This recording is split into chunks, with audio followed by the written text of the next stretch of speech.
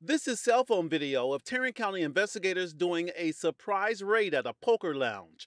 The owner of the Watauga Social Lounge faces illegal gambling charges after an undercover investigation. The lounge is in the Watauga Regency Square shopping center.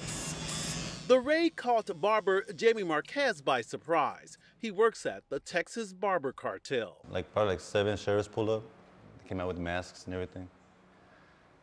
Uh, they had people, call people out uh, in handcuffs. Investigators from the Tarrant County Sheriff's Game Room Regulation Unit conducted the undercover sting with help from the Mid Cities Drug Task Force. Court documents say during multiple visits, employees charged undercover officers posing as poker players illegal fees.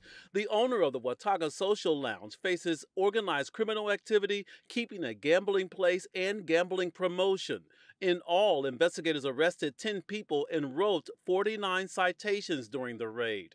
The multiple police cars in the shopping center seen in this photo got people's attention, including Jamie and his customers. It was pretty, pretty intense.